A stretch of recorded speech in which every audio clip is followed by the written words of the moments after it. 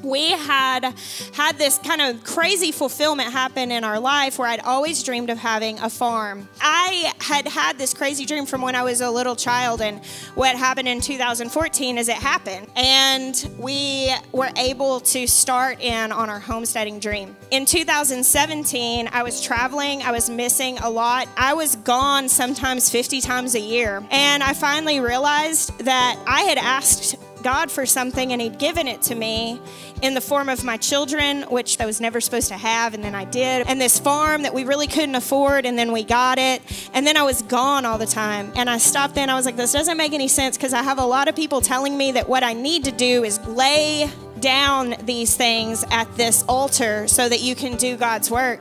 But I stopped and I thought, this is His work. And so I went home. My children are first, and if the only worship that I ever get to release again is making peanut butter sandwiches and cooking family dinners and collecting eggs from the coop, I'm okay with that. Come join us for the second annual Homestead Festival, June 2nd and 3rd, an hour south of Nashville. Tickets are available today at thehomesteadfestival.com.